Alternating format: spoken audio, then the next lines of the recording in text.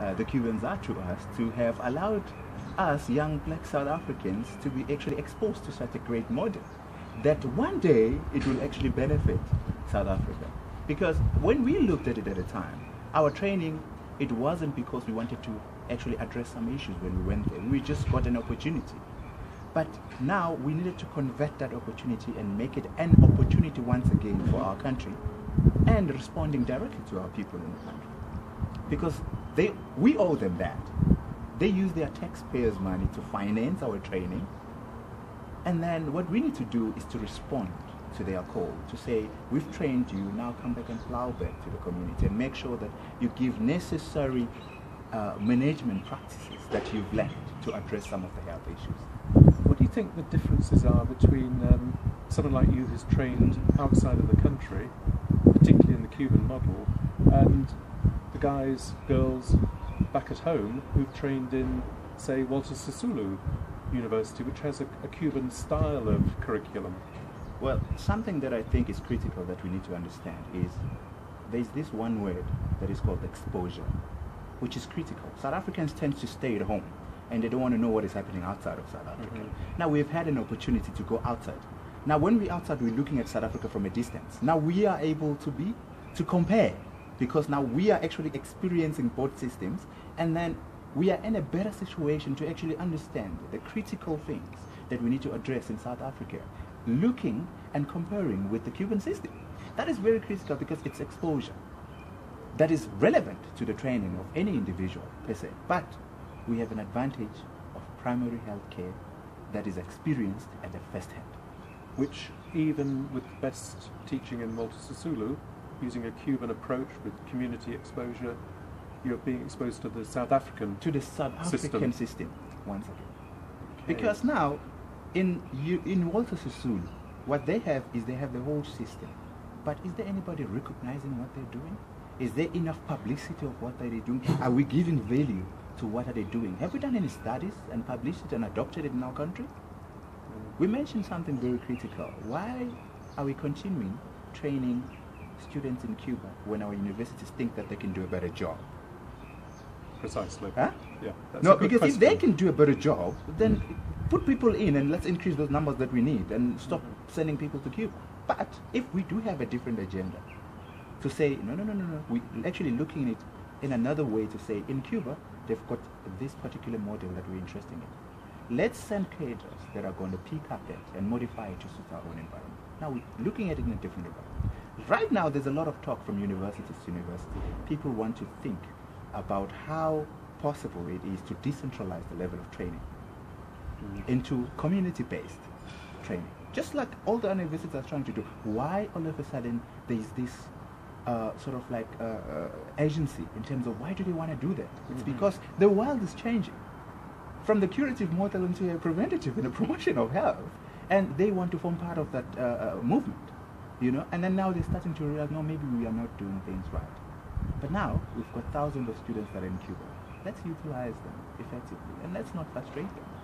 So, what are the plans for the thousand students that are going to start coming back from 2017? That's another mistake that we've done. We've sent students without a framework and a plan to say, we're sending you there because you want to come back to this system that we have already created.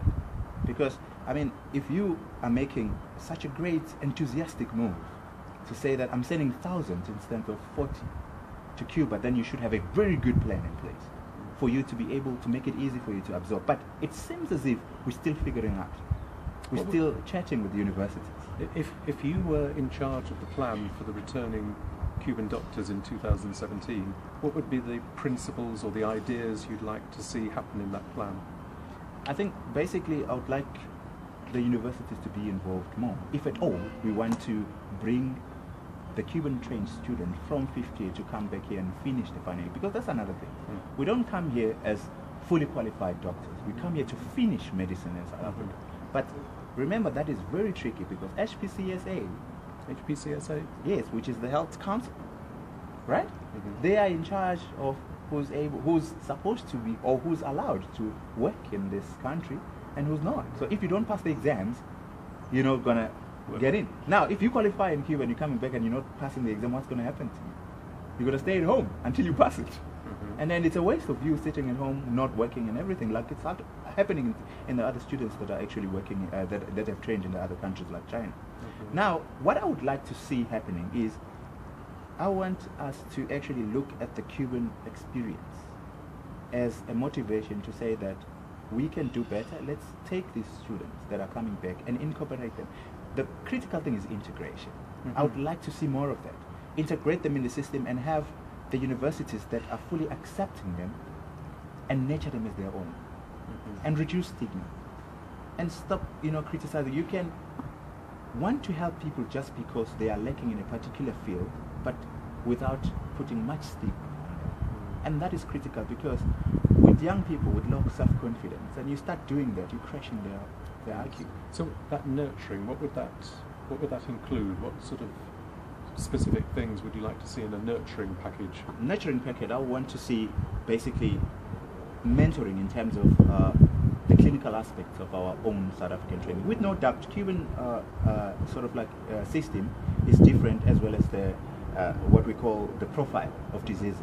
South Africa has another profile of disease, Sure. but we need to be incorporated in that and not looked as people that do not know, but rather looked at as people that were so unfortunate to be trained in a country that didn't have that because they've trimmed those problems.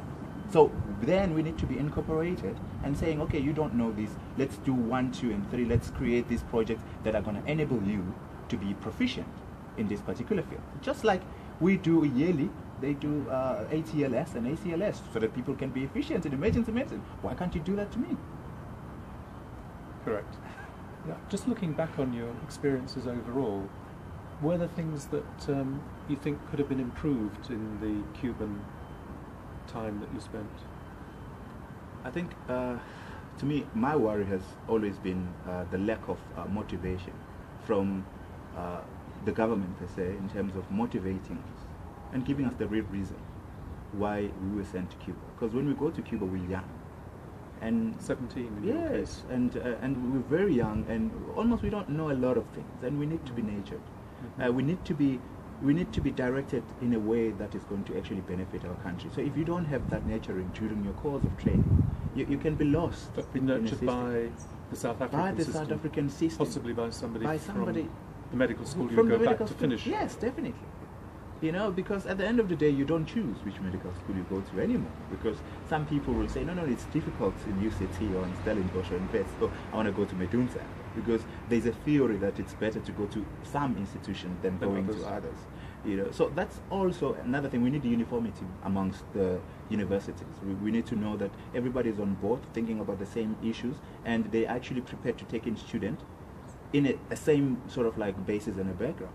Yeah. To say you're coming here, this is the program, and everybody is going to be using the same program, and they stick to it. Yeah, and it seemed logical Yeah. for people to know which medical school they were going to go Yeah. to for their final year. For their final They could know that certainly a few years a few in years advance. in advance. Yeah. So if we can start doing that and making you know you're going to be going to UCT, you know how UCT is. You know you're going to be, you know, be influenced by this type of people who've done these uh, researches and all this, or in in Stellenbosch, and then you you become more interested into things, and that you are driven into sort of like understanding more than what you're actually doing in class. Because basically medicine is not about everything in class. It's more about what is happening outside you. But because that's what makes you a good doctor. And tell me about what was it like trying to keep in touch with family, friends in South Africa when you were in Cuba? Because I've just been and the internet's not great, telephones are expensive. At least maybe you went there just like a few years ago. When we went there in 2002, it was even harder to get internet. And uh, I remember that the first time I heard about Facebook was when I came back home. so because I mean, you couldn't possibly get a chance to actually go into the computer lab and, and access, Mm. you know, like a complete internet. Maybe intranet you could have, Yes. uh, but I mean the full internet in terms No. of reading what is happening in your country because it's important to keep on updating yourself with the, what is happening in So your how country. did you do know. that? So what we did is we used to pop up from our pocket and go outside to the Cuban houses, uh, and then get people that are very much connected and, and ask, you know, can't we do this? Uh, you know, we want to access some information. Can't you help us do that? And we had a lot of friends. You know, they say it's survival of the fittest. So you need to look at who, uh, who are the people that you want to have relationship with to, in order to get what you want. So you know which people you want to be friends with so that you can benefit. So we had the same style. Very good. Th- Thank you very much. That's very interesting and Thank you. informative. Thank you.